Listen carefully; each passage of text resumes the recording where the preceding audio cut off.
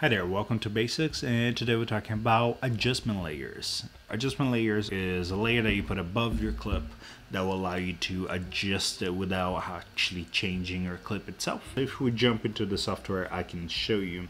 Uh, they're here in the text. You might not have them if you don't know what they are, but there will be a link down below where you can just download them for free and you should be using them. They're a lot easier to kind of go about your edit.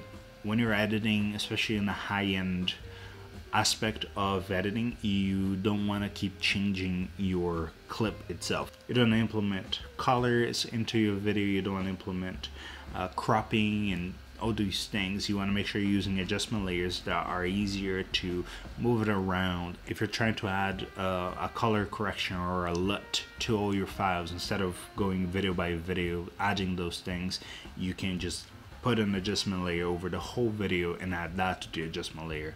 And now we can turn that in and off take it in take it out. So whenever you come into adjustment layers this one will come with three different sizes.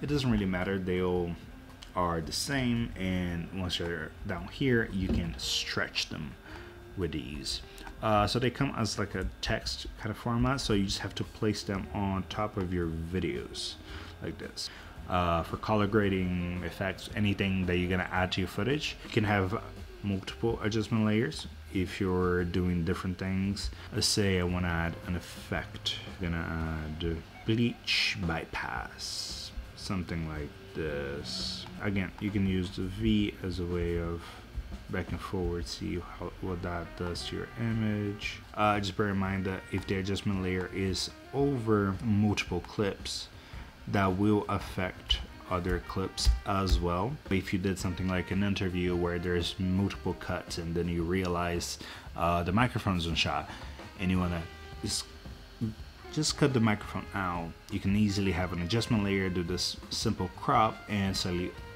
all the files have the exact same crop.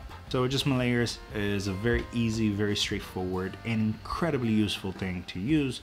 I don't know if Final just doesn't give you adjustment layers with the software. There's a free download in the description. Very easy to use. Thank you for watching, and I'll see you next week.